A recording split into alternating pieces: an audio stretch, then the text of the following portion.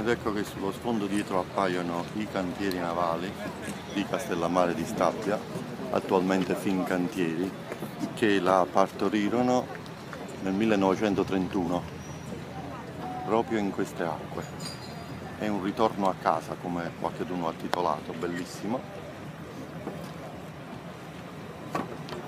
Tra qualche ora ci sarà l'apertura al pubblico a partire dalle 15 che potrà visitarla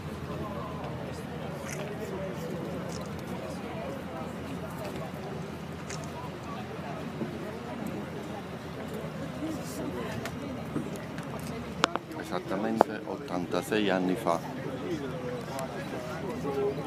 Non era da sola, era affiancata da un'altra nave, Cristoforo Colombo. Questo è uno dei motivi per cui ci chiediamo, ma se è la più bella e se è dedicata al marinaio più importante italiano, perché non si chiama Cristoforo Colombo? La Cristoforo Colombo era la sua gemella,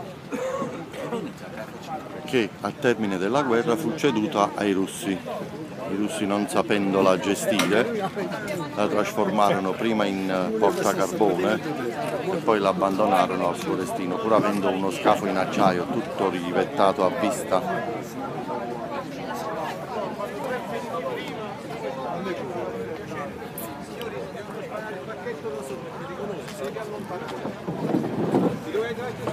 protezione forse è meglio per tutti quanti.